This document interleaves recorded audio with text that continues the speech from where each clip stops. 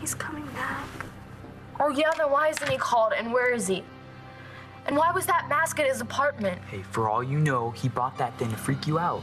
Yeah, and he cut school and he's hiding out to make it even freakier. Something is really wrong, Markko. We all know it. The question now is where do I go next, right? Hmm. Well, in my experience, one place is pretty much like another. Although Paris has been better than most. I mean, at least it has been for Shane and me. People are friendly, they mind their own business, except for my boss. and it's one of the only places left where you can still find a cup of coffee for less than a buck. Take it from me, Miss Paris, Texas Chamber of Commerce. Well, I don't know. Maybe I might have given Paris, Texas a chance, but Alice isn't here, so now I, uh. Why don't I sub for Alice? I don't see how she could do much more for you than I can. No, I don't know, Gigi. It- Well, at least let me try. And hey, if it doesn't work out, get back in your car and shoot on out of here with little Billy. and where? And go where? Gigi. Hard to find a better place than good old Paris.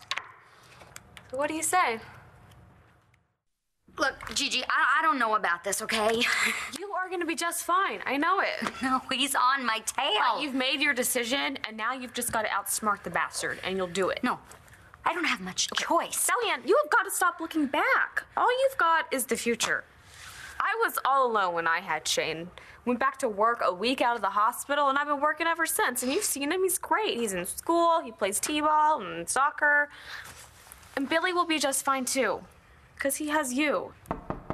Who's there? It's just me, Mom. Oh oh, my he- What is on your face? Did anyone ever teach you how to use a napkin? What is that? Chocolate? Noelle gave me a piece of her Channel fudge cake. Noelle's a baker at the cafe. Boss doesn't appreciate her, but you'll love her. I'll introduce you to all the girls I work with. We'll take real good care of you and Billy. You know, um, when my dad was missing, my mom made us make posters and post them all over town. I'd wait on that. Well, why? Well, uh, what if Cole just had to go out of town for a day and he comes back and there's flyers everywhere? He's not gonna like that. But it's okay to post his face all over the internet? Guys, I know you're trying to help me stay positive, but something is wrong. And I'm afraid that if we don't do something soon, it's gonna be too late. All better? Hmm. Yes. David explained everything to me. So you see, congratulations are in order. One always wishes the bride best wishes, but I think David can do better. And he will next time. There isn't going to be a next time, Dorian, so you can lock up your hope chest. He's mine as long as I want him. Isn't that true, Pussycat? Oh, the things one does for love. And of course, you couldn't hang on to him no matter how hard you tried. Could she, Tiger? Uh, let's leave the cat metaphor in the litter box where it belongs. let's go, kitten. Okay. By the way, what brings you two back to Llanview? I don't see anybody rolling out the red carpet. Oh, Alex has some unfinished business. With the Buchanans. You didn't tell me that.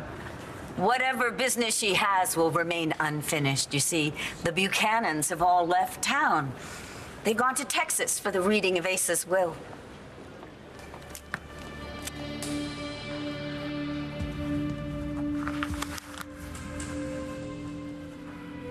God help me. I thought a toast might be appropriate. Oh, thank you, Nigel. I have sparkling cider for the lucky few. Can I help you open the champagne? You may pop the cork. Actually, I could use something a little stronger than champagne. Me too. So how's it feel? Like you won the lottery? I still don't think it's right. Chuck, that's the way Asa wanted it. I mean, you know this property inside and out. It's going to prosper with you running it. There's a big difference between running it and owning it. Not anymore. Asa wanted you here, wanted Nora in the house, wanted Nigel to have the island, and I think it's because the three of you took good care of the people and places he loved the most. One thing I don't understand, though, is all of us being on the board at BE and doing everything together. Well, I have absolutely no interest in sitting on that board, so I'm going to defer all of my decisions over to you. No, you can't do that, Missy. Your granddaddy was quite clear. You're in this together. Frankly, I think that's a recipe for disaster. Not necessarily. In fact, I think it makes perfect sense. Starr, you're making yourself crazy. You gotta try to chill. Of course I'm making myself crazy. How can I relax? He's hurt. Do you hear yourself? Now you stop this negative talk right now. You're not helping Cole.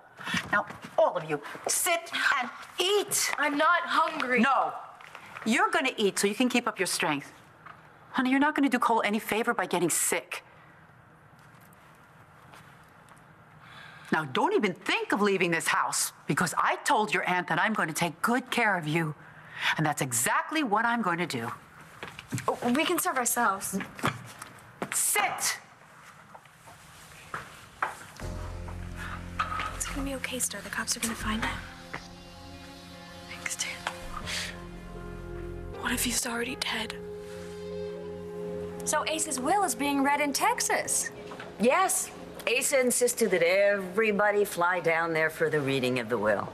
And since that devil always got exactly what he wanted. Oh, you can't tell me anything about him. He's my ex-husband. Yes. David, won't it be nice when you're part of his company?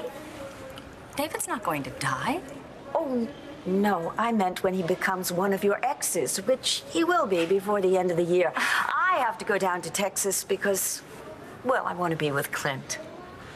We're going with you. We are? Yes. No one invited you. I'm sure no one invited you either.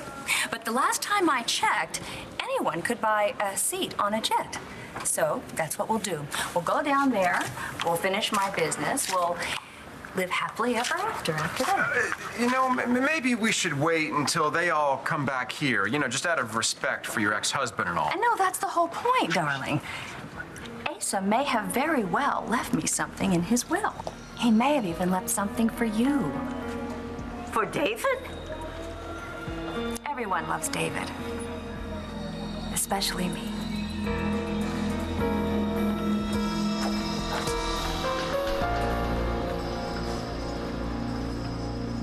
You heard Asa. His family and his business, that was his life, and this is his way of keeping it together.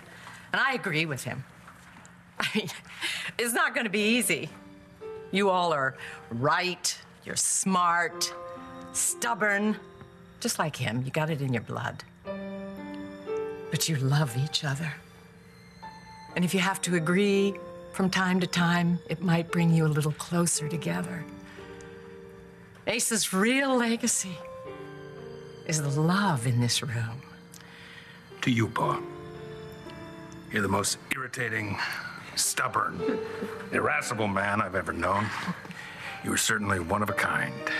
And all of us in this room, we love you, and we're gonna miss you something awful. To Asa. To you, Grandma.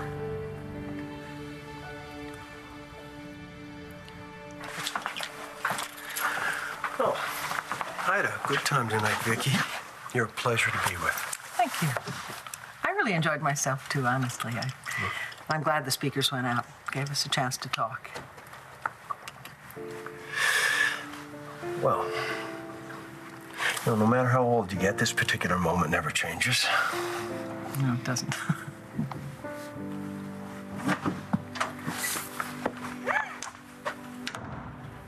Oh my God, Viki, I'm so sorry. Oh, no, there's nothing to be sorry about. Hey, we were just saying goodnight, that's all. What are you doing here? Hi, Shane. Uh, Shane's half asleep. Oh, yeah? Um, we're just visiting a friend. Um, we'll get out of your way.